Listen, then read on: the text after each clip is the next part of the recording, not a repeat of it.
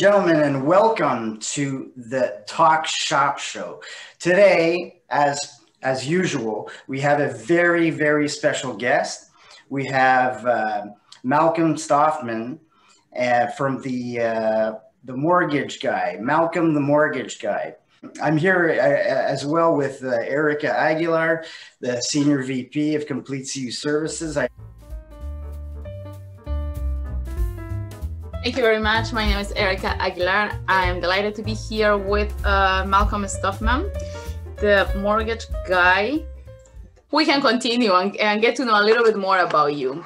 Now, uh, there are different things that you are involved with. Not only that uh, you have a successful business, that you have a great team that works with you, and you are in charge of, uh, you're ahead of the, the team, and people are looking up to you. But you also have a, a show. You have a segment, a radio station, Y108, I believe that's what it is, and uh, where you answer questions, where you offer this service to the community to be uh, to educate and is that is that right on the field of uh, is that of long or what what exactly is that show about? If you tell me a little bit why would people want it to listen so uh, i've been doing a show on y108 for a couple of years now. Uh, started doing the morning show there uh, basically just answering questions about mortgages about financing about debt management and uh, from there that led into an evening drive show. So i'm doing that uh, every three weeks once a month and just taking calls uh, questions online by text or uh, in person.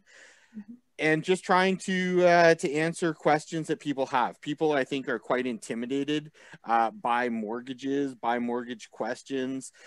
People i think often feel insecure about what they know and don't know mm-hmm. and they're just looking for some advice. And it's not uh, you know it's no obligation advice. It's just an opportunity for somebody to call in ask a question. Maybe uh, you know maybe they've got you know thoughts about buying an investment property but don't know how or where to begin. Or you know how do you save for a down payment or how much of a down payment do you need? Can you buy a house without a down payment? You know questions that uh, maybe uh, require a little bit more digging than sort of a super simple uh, Google search.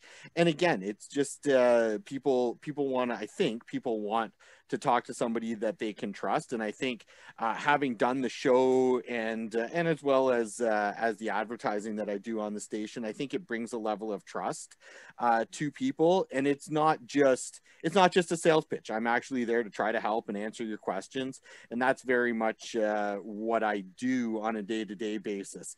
Uh, obviously, at the end of the day, I broker mortgages, but I'm here to help you.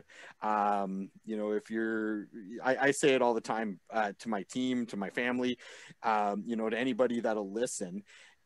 Mortgages are complicated and they are intimidating for people who don't have them. They're intimidating for people that do have them, right? Most people sort of sign on to a five year mortgage and then don't think about it again uh, for four and a half years. And then four and a half years comes along and they, they don't know what to do. Mm-hmm. Uh, people have a lot of baggage around their finances. People have uh, questions and, um, uh, you know, uncertainties about their finances as Canadians, we carry a ton of debt, as everyone knows, and people are confused about the debt. People don't realize that there's ways to reduce their overall debt payments to save themselves a lot of money, and uh, and I think uh, some people do understand that, but are sort of ashamed to ask the questions and to really understand how they can improve their situation quite easily in many cases. Mm-hmm just by consolidating some debts. And uh, and I think that the anonymity of the radio show helps people to get those answers. That's so Malcolm, I was just wondering, uh, do you have a limited territory, or you can do this all over Ontario? Or I work all over Ontario, and I'll say this, uh, you know, just to the question earlier in regards to uh, if we're still doing mortgages in the pandemic, I work all across Ontario, and my processes are virtually well, they are they're fully uh, remote. Everything I do is done electronically. Um, I don't need to meet with you. I guess I can meet with you if you need to meet with me, but the vast majority of people that I work with, I find that uh, we have our sort of initial conversation, uh, you know, after dinner on a weeknight, and uh, we go through the basic information. It takes about 20 minutes to gather that information information. And like I say, I usually find that people like kind of seven o'clock in the evening to have that call. Or, you know, the day's done, dinner's done, you know, uh, family can sort of sit down and have that conversation with me.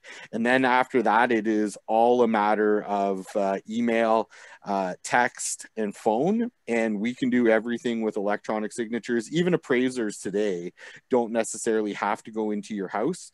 Lawyers you don't necessarily need to attend an office to sign paperwork anymore. So i can work anywhere in ontario and i literally have had clients everywhere from windsor to north bay uh, and beyond. So uh, yeah i'm quite comfortable working anywhere in the province